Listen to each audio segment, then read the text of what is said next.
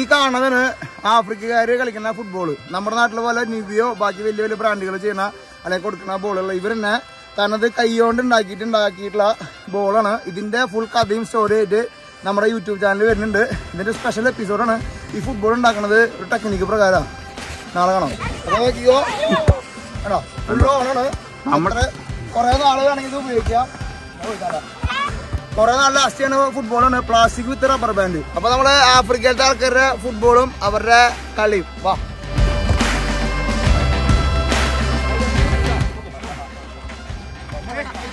goal goal